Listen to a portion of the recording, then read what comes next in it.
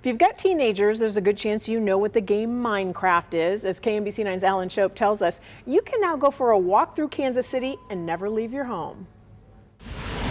It's a rainy, soggy kind of day in Kansas City.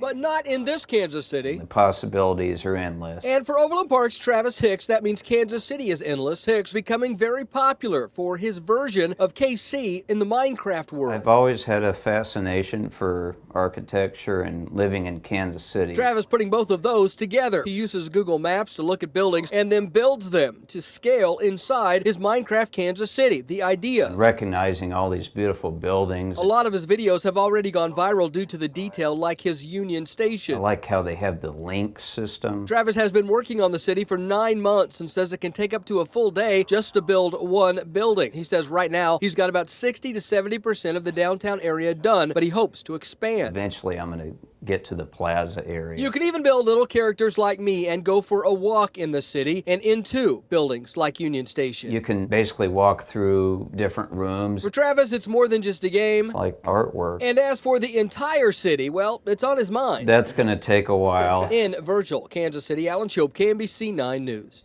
Special talent there. You can get more information on the Facebook page Kansas City Minecrafters.